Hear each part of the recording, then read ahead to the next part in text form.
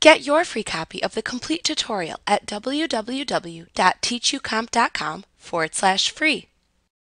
To move selected objects within the Layout Designer window, click and drag the objects from one place to another in the form.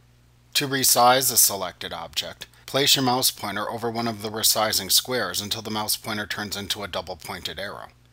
At that point, click and drag with your mouse to resize the selected object in either direction shown by the arrows. Note that you cannot resize multiple selected objects using this method. However, you can make multiple selected objects the same height, the same width, or the exact same size. To do this, first simultaneously select the objects you want to make the same height, width, or size. Then click either the height, width, or size buttons within the Make Same Button group in the toolbar at the top of the window.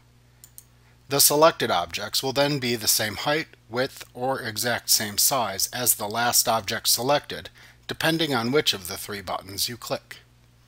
Like what you see? Pick up your free copy of the complete tutorial at www.teachucomp.com forward slash free.